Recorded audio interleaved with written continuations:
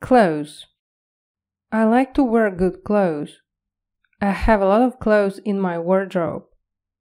I have five pairs of jeans because I wear jeans all the time. I usually put on a shirt, a pullover, or a t shirt with them. When it is cold, I put on my sweater. When it is cold outside, I wear a coat or a warm jacket. I like good footwear. I have all kinds of it shoes, trainers, and boots. I prefer natural fabrics such as cotton, linen, and wool. My favorite colors for clothes are blue, gray, and light brown.